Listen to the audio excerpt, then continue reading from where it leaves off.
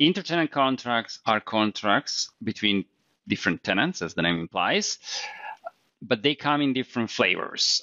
It could be that you have the EPGs in the same VRF, or they could be in different VRFs. The tenants could be two normal user tenants, like in this example, or they could be a tenant common and a regular tenant. And so based on these different combinations, there are slight variations to the configuration. Just like for inter-VRF contracts, you need to be mindful about the scope of the contract. With scope global, you know that the configuration is always going to work, but you need to remember that if you reuse the same contract that has a scope global in multiple tenants, um, you could open the communication between all these different tenants because you're connecting them with this global contract. So be mindful about the scope settings. So the main difference with intra-tenant contracts is really about which EPG can see the contract. Because for a contract to be provided or consumed by an EPG, that contract object must be visible by the EPG. And if you configure contracts in the same tenant, that's always the case. But if you configure a contract between different tenants, that's not necessarily true because an object of tenant one is not automatically visible in tenant two. And the only exception is tenant common because all the objects of tenant common are visible and usable by other tenants. So for user tenant to user tenant contracts, you have two options, right? One, and we'll describe it later, one is to leverage objects defined in tenant common, or the provider tenant, and notice provider here, must export the contract and the consumer tenant can find the contract as an imported contract and it's configured as a contract interface. So it's such terminology, but again, you have two choices for user tenants to user tenants configurations, and we're going to describe them in the next few slides. Let's start from uh, the very the simplest possible uh, scenario, which is you configure an intra-VRF contract between two tenants, and one of these tenants is tenant common. So you can use the VRF. You define a VRF in tenant common, VRF1, and so that VRF is also visible from tenant one. And EPG web is associated with the BD that is associated with VRF1 the contract is defined within tenant common with a scope that can be either VRF or could be global. Which side is provider or consumer is irrelevant. The configuration is the same as a normal intra-tenant configuration. There's nothing special here. Let's now talk about the scenario with an intra-VRF contract between two user tenants uh, that are using a contract defined in tenant common.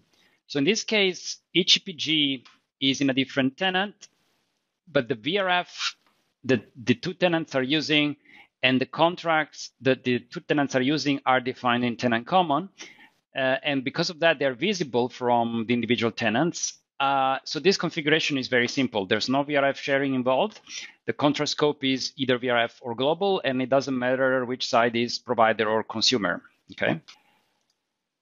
Now let's add a little bit of complexity. Let's consider a scenario where there is a contract between the tenant common and a user tenant, but tenant common and user tenant use different VRFs.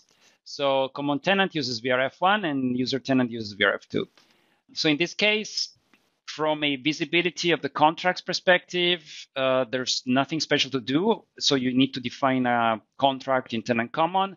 You need to set the scope to be global. Now, which side is provider or consumer, it doesn't matter. I mean, it matters from the VRF sharing perspective, but from the inter-tenant configuration, it doesn't. And then the configuration is the same as you would do for inter-VRF contracts. So yes, the difference with the inter-VRF configuration is just the fact that you need to define the contract uh, in tenant common. It's visible from the user tenant, and that's it.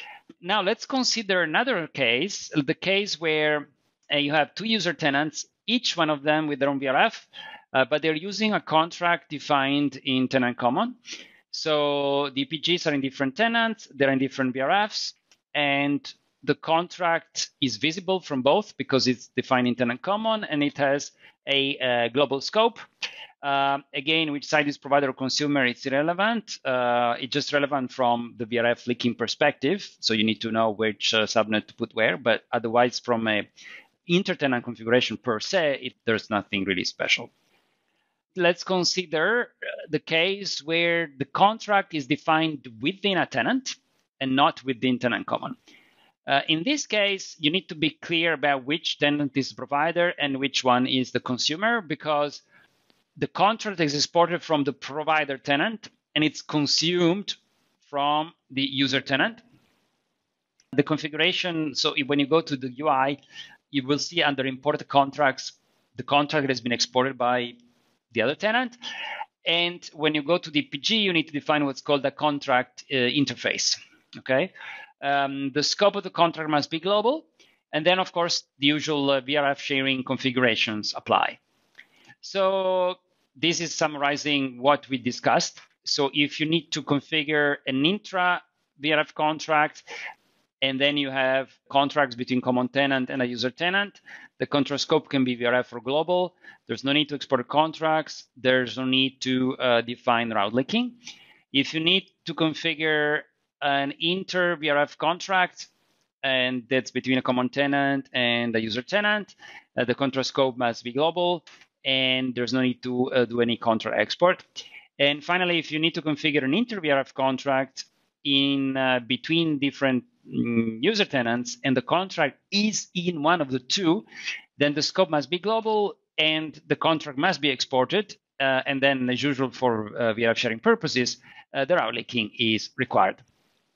Okay, so now just to help you finding where the configurations are, when you want to define intertenant contract and tenant common is involved, you just define a standard contract, okay? So for instance here, and then I would say this is a global contract. That's where you would set the scope. Okay. Uh, so mm, if you set it to global, you know it's going to work, you know, cases. And then here you would list different uh, subjects and filters, which is outside of the scope of this short explanation. So with that contract, if you then need to configure that contract between two EPGs, well, one EPG would be tenant common, and let's assume that you want to define uh, intertenant contract with this particular tenant. So now, if you look at the EPGs here, you will find that you can provide or consume the contract from tenant common because here in the list, you will see under tenant common, you'll see here global contract, the one we just created. So the contract visible, and then you can do everything you need to do. Okay. Now that's for the case where you define contracts in tenant common. In the case that you want to define a contract in this tenant and then you want to consume it from different one, then what you need to do is you go to here um, to the usual place and then i already defined one i called it cross tenant contracts you may need to make sure that the um, uh, the scope is correctly set, so it's set to global. Then the next thing you do, you export a contract. So in this case, this is going to be the provider tenant. I call it exported contract. And then you say which tenant you want to export it to. So let's export it to the VRF sharing test, okay? So I submit. And so this contract now is visible from the VRF sharing test, and it appears here as imported contract, right? So how to use it? You go to, now this side is the consumer. So you select a EPG here. And then here you need to select consumed contract interface. That's how you use uh, the contract that was exported.